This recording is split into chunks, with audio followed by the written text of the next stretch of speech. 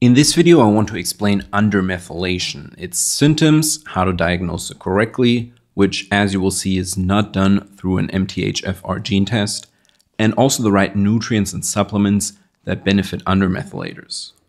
As you will see, there's a lot of bad info about undermethylation online, so we will also debunk a few myths along the way. First things first, what even is undermethylation? To understand undermethylation, you need to understand methylation, which is kind of a buzzword in nutrition and biohacking communities. Methylation is the addition of a methyl group to another molecule, and a methyl group is made up of one carbon atom and three hydrogen atoms. So it's a biochemical process, and see it like an on off switch that helps regulate important processes in the body.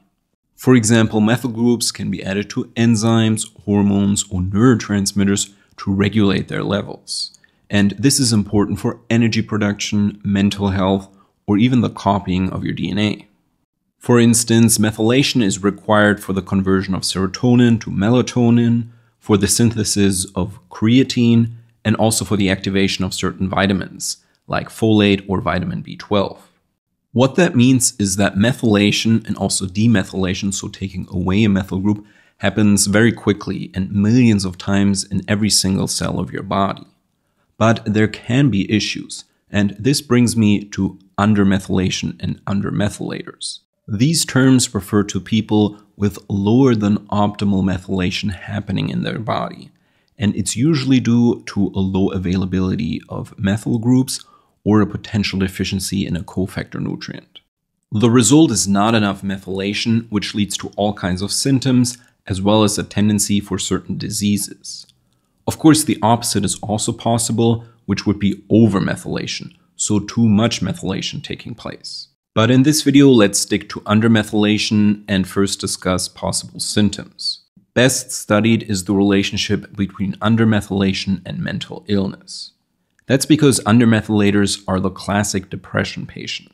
They tend to have low neurotransmitter levels, so low serotonin, low dopamine, and low adrenaline. Things can get more complicated when they also have other issues, like copper overload, which would keep their serotonin and dopamine low but spike adrenaline. But that's a topic for a different video. Generally, if you think of undermethylators, you want to think of low neurotransmitters. Other symptoms and health issues undermethylators tend to have include a lot of allergies due to their high histamine, impaired detoxification, because methylation is an important liver detoxification pathway. This is explained in more detail in a different video. Low energy output and fatigue because of their problems with creatine synthesis, and also possibly high estrogen because the methylation dependent enzyme COMT is responsible for the elimination of excess estrogen.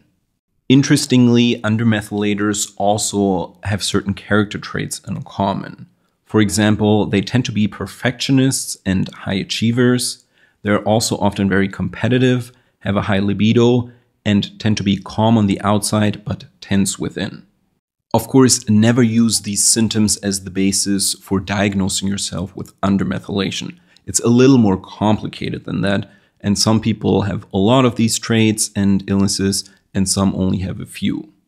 This brings me to the next part of the video, which is how to diagnose undermethylation correctly. And to be honest, this is where the confusion really starts. Most practitioners will try to determine your methylation status based on genetic testing. They will look at certain genes that are related to methylation and see if there's a gene variation. These genes can be MTHFR, COMT, MTR, MTRR, or others.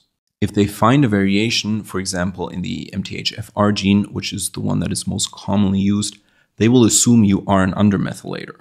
The problem with this approach is that there are countless genes that affect methylation, and some variations might lower your ability to methylate, while others can even enhance it.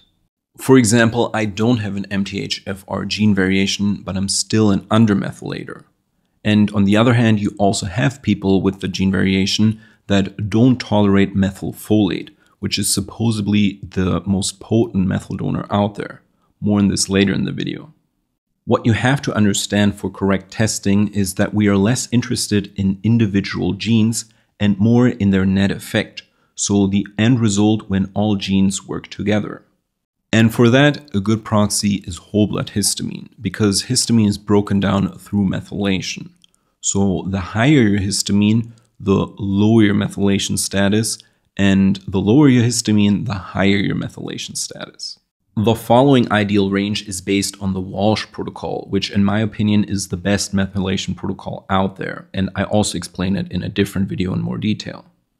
So normal methylators will have a histamine range between 40 and 70, which means that if you're over 70, you will be classified as an undermethylator, and if you're under 40, you will be classified as an overmethylator.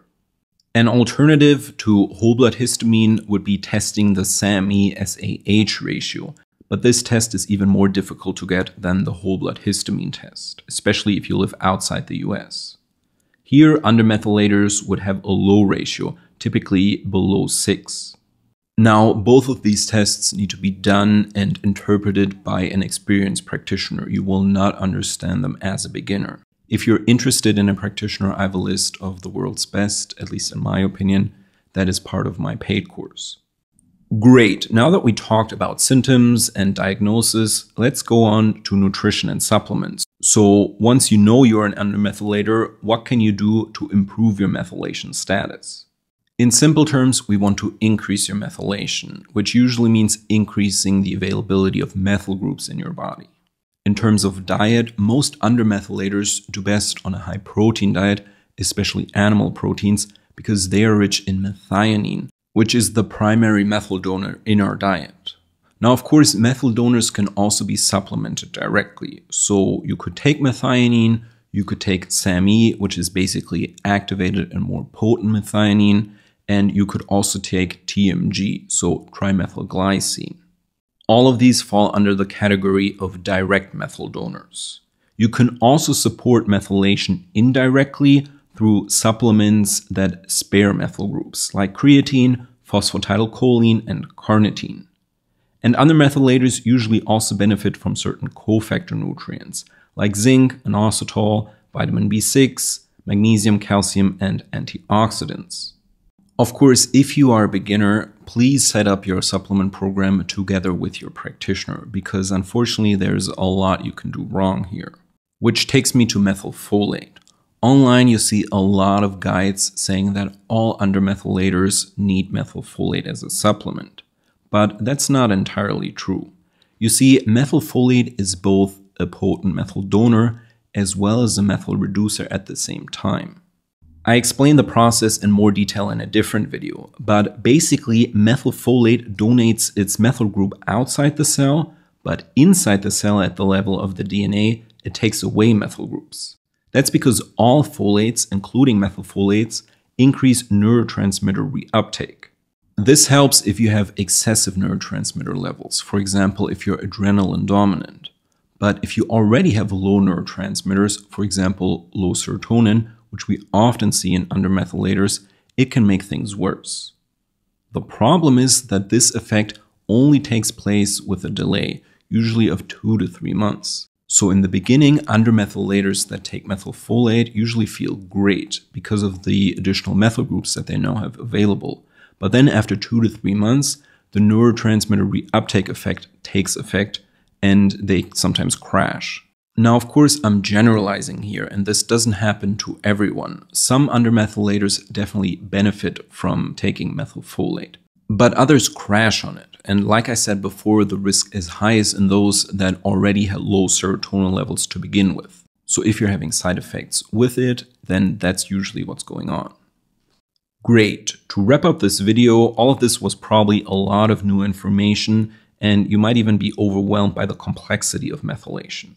The key takeaway is really that undermethylators suffer from a poor availability of methyl groups, and the diagnosis should not only be done through genetic testing, but also through tests that measure the net effect of all genes together, like whole blood histamine. The condition can be improved a lot by certain nutrients that either deliver methyl groups directly or by nutrients that help your body conserve them. And the biggest mistake many people make is thinking all undermethylators need methylfolate when in fact some do worse, usually after two to three months. I hope you liked this video and I see you in the next one.